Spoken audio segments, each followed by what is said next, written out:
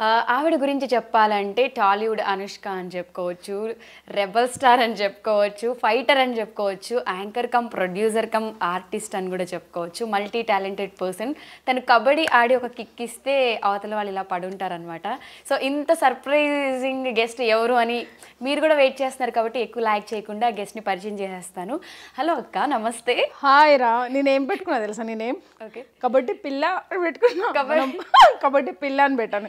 ఎందుకంటే అప్పుడు నేను కబడ్డీ రైడ్కి వచ్చినప్పుడు నువ్వు భయపడు ప్లీజ్ ప్లీజ్ సిస్టర్ నన్ను మాత్రం ఏమనుకు ప్లీజ్ నేను జస్ట్ టచ్ చేసి వెళ్ళిపోతాను. అది ఐడియా ఉంది నీకు గుర్తుందా? ఎగ్జాక్ట్లీ యాక్చువల్గా మహతక్కని ఇంటర్వ్యూ కోసం మహతి గారు మీరు అని మేము పిలవలేము. ఎందుకంటే మా బుల్లితెర నేను కూడా సీరియస్లో చేశాను కాబట్టి మా అంద మా ఏజ్ గ్రూప్ వాళ్ళందరికీ మహతక్కని అక్క అని పిలవడమే అలవాటు. ఎందుకంటే తను కూడా పక్కింటి అమ్మాయి లాగా ఏదో లైక్ ఓన్ సిస్టర్లా చెప్పండి రండి చెల్లి అని మమ్మల్ని పిలుస్తూ ఉంటుంది కాబట్టి నేను మహతక్క అనే పిలుస్తాను. ఆర్టిఫిషియల్గా యాక్ట్ చేయలేం కాబట్టి.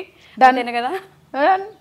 సరే అక్క నిన్ను చూడగానే ఫస్ట్ కబడ్డీ ఆడే ప్లేయర్స్ అందరికి మన సెలబ్రిటీ కబడ్డీ లీగ్లో ఆడిన సెలబ్రిటీస్ అందరికి ఒక ఫియర్ ఉంటది. ఎందుకంటే ఇలా ఎత్తలా పడేస్తాం అమ్మ ఎంత మందికి దెబ్బలు తగిలాయి ఎంత రైడ్లో ఎంత గొడవలు అబ్బా బాబా అల్టిమేట్ నేను అసలు ఇది మర్చిపోను ఆ టూ ఇయర్స్ నన్ను ఎత్తుకుని ఇట్లా ఒక రౌండ్ తిప్పి రింగ్ తిప్పి గుర్తుంది. కూర్చోబెట్ట. కొంతమందికి చేతులు ఇరిగిపోయాయి కొంతమంది కాళ్ళకి దెబ్బలు తగిలింది. ఆ ఊపులో ఇంకా అలా జరిగిపోతుంది అంతే. నాకు ఇష్టం. ఏదైనా గేమ్ ఆడని యాక్టింగ్ కానీ ఎనీథింగ్ ఏదైనా ఉంటే సీరియస్గా నేను అందులోకి వెళ్ళిపోతా. ఇన్వాల్వ్ అయిపోయి. ఆవాహం చేసుకుంటా. అంటే ఎంత మంది కాళ్ళు చేతులు ఇరిగాయి కబడ్డీలో అసలు? ఘోరం. కానీ బాగా అది రన్నర్ అప్ అయినా ఇంకొక టూ పాయింట్స్ అయితే నేను విన్ అయ్యేదాన్ని. అసలు రచ్చ రచ్చ అయింది కదా ఫైనల్స్ అప్పుడు చాలా ఇదైపోయింది. అప్పట్లో మహతక్క రైడ్కి వస్తుంది అంటే ఇట్లా అందరూ భయపడేది, అనే ఫీల్ ఉండేది. ఇప్పుడు మళ్ళీ కబడ్డీ పెడితే మహతక్కకి ఆడే ఇంట్రెస్ట్ ఉందా? అంటే అదే ఊపుతో అదే ఫైర్ ఆడదాం కానీ కాకపోతే కొంచెం దెబ్బలు గిబ్బలు తగిలితే ఇప్పుడు కొంచెం ప్రాబ్లం అవుతుంది. చాలా మందికి అప్పుడు ఇంకా వాళ్ళు హెల్త్ కూడా చాలా డిస్టర్బ్ అయింది. టూ టూ ఇయర్స్ ఒక్కొక్కరు ఆపరేషన్ చేయించుకొని చాలా ఫీల్ అయ్యారు. కొంతమంది ఆర్టిస్ట్ కొంతమందికి పెయిన్స్ కూడా తగలేదు అంటే ఈసారి కొంచెం ట్రైనింగ్ తీసుకొని చాలా జాగ్రత్తగా చేస్తా. ఒకవేళ మళ్ళీ కబడ్డీ ఆడాల్సి వస్తే ఎందుకంటే ఇప్పుడు గ్లామర్ మీద కాన్సన్ట్రేషన్ ఎక్కువ పెరిగింది ఎక్కువ పెరిగింది. అప్పట్లో మహతక్క ఇవన్నీ ఏం పట్టించుకోకుండా చాలా సింపుల్గా నార్మల్గా ఉండేది. ఇప్పుడు మహతక్క అంటే కొంచెం కేర్ అది ఇది కొంచెం ఆ గ్లో ఇంకా బాగా తయారు కావాలి ఇంకా అందంగా ఉండాలి ఇంకా చాలా వండర్స్ క్రియేట్ చేయాలి ఇంకా చాలా వర్క్ చేయాలి ఇంకా ఫ్యూచర్లో మంచి మంచి సిరీస్ చేయాలి షార్ట్ మూవీస్ చేయాలి సాంగ్స్ చేయాలి. నాకు చాలా ఉన్నాయి డ్రీమ్స్ యాక్చువల్గా మహతక్క గురించి ఒకటి చెప్పడం మర్చిపోయా. ఇంకొక ఫైవ్ ఇయర్స్ అయితే థర్టీ థర్టీ ఇయర్స్ ఇండస్ట్రీ అని చెప్పుకుంటది అక్క. ట్వంటీ ఇయర్స్ అయింది ఇండస్ట్రీకి వచ్చి. టూ థౌజండ్ ఫోర్లో వచ్చానరా. ఇప్పుడు ట్వంటీ ఇయర్స్ అయిపోయింది. బుల్లితెర స్టార్ట్ అయ్యి ట్వంటీ ఫైవ్ ఇయర్స్ అయింది. సో నేను వచ్చి ట్వంటీ ఇయర్స్ అంటే నేను టెన్త్ క్లాస్లో వచ్చేసాను. ఇప్పుడు మనకు టూ థౌజండ్ ఫోర్లో ఆడిషన్ అయింది. టూ థౌజండ్ సిక్స్ నుంచి సీరియల్ స్టార్ట్ అయింది. నాకంటే త్రీ ఇయర్స్ అక్కడ వెతకడమే సరిపోయింది నాకు. First entry two thousand four okay two six నుంచి బ్యాక్ టు బ్యాక్ చేస్తున్నా. ఓకే ట్వంటీ ఇయర్స్ నుంచి ఇండస్ట్రీలో ఎటువంటి రీమర్స్ లేకుండా ఎటువంటి రూమర్స్ లేకుండా గొడవలు లేకుండా యాజ్ ఎ ప్రొడ్యూసర్గా మహతక్క ఎంతో మందికి హెల్ప్ చేశారు. మహతక్క చాలా మందికి తెలుసు.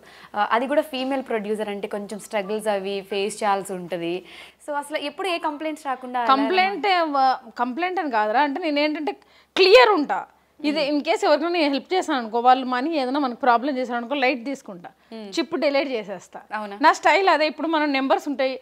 రూపాయలు ఇవా కోటి రూపాయలు ఇవ్వడం అని కాదు. నాకు ఇప్పుడు నేను ఏం నేర్చుకున్నా అంటే నా లైఫ్లో మనీ అనేది ఎవరికైనా హెల్ప్ చేస్తే ఇంకా అది రాదు. రిటర్న్ రాదు. అట్లా అంటేనే హెల్ప్ చేయాలి. అది ఫిక్స్ అయిపోండి. మనీ ఇవ్వడం కంటే కూడా హాస్పిటల్లో ఉన్నావు నీకు ప్రాబ్లం అయింది. అని ఆ మెడిసిన్ ఇప్పిస్తా. అట్లా. ఇప్పుడు నువ్వు క్యా ఫుడ్ లేదు అంటే రైస్ పంపిస్తా. కానీ మనీ అనేది చాలా చూసి జాగ్రత్తగా ఇవ్వాలి. మనీ విషయంలో నేను చాలా చాలా నేర్చుకున్నా. ఓకే. సో ప్రజెంట్ ఇప్పుడు యూట్యూబ్లో కానీ రీల్స్లో కానీ ఫేస్బుక్ షార్ట్స్లో కానీ ఎక్కడ చూసినా మహ మహతక్క రీల్స్ ట్రెండ్ అయిపోతున్నాయి. ముఖ్యంగా వీరేంతో చేసిన reels thirty five million yes అసలు ఏంటి అంత జోష? చాలా బాగా అదే వీరంతో నేను ఎప్పుడు నేను మేల్తో చేయలేదు ఎక్కువ రీల్స్ ఫస్ట్ టైం వీరంతో చేసా వీరన్ అంటే మేము ఎన్నెన్నో జన్మల బంధంలో నా బ్రదర్ రోల్ అతను. ఇద్దరం కలిసి చేసాము ఇద్దరు హైట్ ఉంటాం కదా. సో పేరు చాలా బాగుంటుంది ఒక రీల్ చేద్దామని అనుకుని ఒక టూ త్రీ రీల్స్ ఒకటే రోజు చేసాము. అది మిలియన్స్లో వెళ్తూనే ఉంది ఎన్నిసార్లు అటు ఇటు పెట్టినా ఇటు తటు పెట్టేసినా వెళ్తూనే ఉంది. అసలు ఇప్పుడు అతనితో కలిసి చేద్దామని అనుకుంటున్నాను రీల్స్ ఇంకా. ఫర్దర్గా ఏదన్నా ఇద్దరం ఒక రీల్ కపుల్ లాగా ఏదైనా అనుకొని చేద్దామని నేను అతను నెక్స్ట్ మంత్ వస్తా అన్నారు మాట్లాడదాం మహతి గారు అన్నారు. సో ఇద్దరం కలిసి చేద్దాం అనుకున్నా. పేరు సెట్ అయింది అంటున్నారు మా రిలేటివ్స్ చాలా మంది నా ఫ్రెండ్స్ చాలా మంది చెప్తున్నారు ఎంత బాగున్నారు మీరు ఇద్దరు ఏదో రియల్ పేర్ లాగా ఉన్నారు మంచి ఫేస్ కళా ఫేస్ స్మైల్ ఇద్దరిది బాగా సెట్ అయింది. కామెంట్ చదివారు కదా మొత్తం అన్ని. ఆర్ఎక్స్ హండ్రెడ్ కప్పులను కూడా ఏదో పెట్టినట్టున్నారు. మ్మ్, పెట్టారు. ఇంకా అదేమంటారు made for each other beautiful couple మీ హస్బెండా మీరు ఇద్దరు ఎప్పటి నుంచి జర్నీ అన్ని ఇక అన్ని అవే మెసేజ్లు ఉన్నాయి. వాళ్ళకి నచ్చింది ఆ పేరు బాగా నచ్చింది. సపోజ్ వీరేన్కి పెళ్ళి కాకుండా ఉంటే మహతక్క ఆయన్ని పెళ్ళి చేసుకునే ఛాన్సెస్ ఉండేవా? పెళ్ళి కాకుండా ఉంటే ఏమో చెప్పలేము పెళ్ళి అయిపోయింది కదా ఇంకేం చెప్తాం? So no chance no chance అంటే నార్మల్గా ఒక ten lakhs one million okay fine thirty five millions అంటే అది నార్మల్ విషయం కాదు. మంచిగా వెళ్ళింది ఇంకా వెళ్తుంది బాగా వెళ్తుంది ఇంకా వెళ్తుంది. ఫిఫ్టీ మిలియన్స్ ప్లస్ వెళ్తుంది అది. Hmm.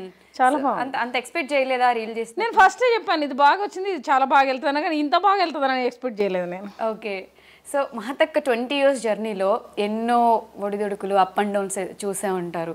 సో అసలు ట్వంటీ ఫైవ్ ఇయర్స్లో ఈ ప్రొడ్యూసర్గా వర్క్ చేసి ఇంకా అదే ఫీల్డ్లో నేను ప్రొడక్షన్ టూ థౌజండ్ లెవెన్లో చేశాను రా ఫస్ట్ టూ థౌసండ్ ఫోర్లో ఆడిషన్ టూ థౌసండ్ సిక్స్లో సీరియల్ ఫస్ట్ మమతా ఎంబీబీఎస్ సీరియల్లో ఒక రోల్ చేశాను.